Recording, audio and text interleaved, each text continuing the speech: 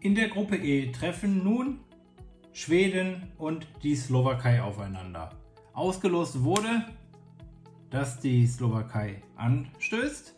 Die Spielregeln, jeder schießt fünfmal aufs Tor und die gegnerische Mannschaft steht hierbei auf dem Elfmeterpunkt, während von der Mittellinie aus angestoßen wird. Nun also die Slowakei mit dem ersten Schuss schießen und auf den Torwart der Schweden. Die Schweden nun, wir zoomen ein wenig raus, mit dem ersten Schuss. Schuss und auf den Torwart der Slowaken.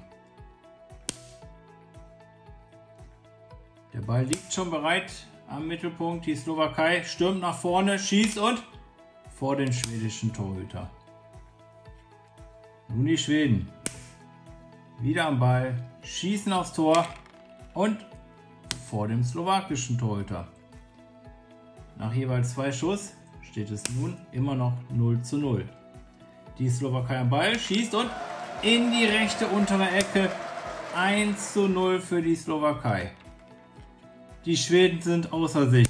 Das konnte keiner absehen. Schießen und voll auf den Torwart. Es steht nach jeweils drei Schüssen immer noch 1 zu 0 für die Slowakei. Bahnt sich hier eine Überraschung ab. Schuss und vor den schwedischen Torhüter. Schweden nun auch im vierten Schuss. Kann den Ausgleich erzielen, aber das war viel zu schwach.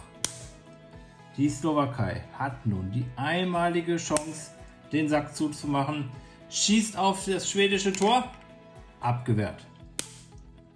Die Schweden mit dem fünften und letzten Schuss die Möglichkeit noch auszugleichen, schießen aufs Tor und vor den Torwart.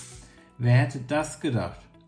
Schweden unterliegt also der Slowakei mit 0 zu 1. Wenn dir dieses Video gefallen hat, freue ich mich über einen Daumen hoch, ein Abo meines Kanals und wenn du es noch nicht gemacht hast, vergiss nicht die Glocke.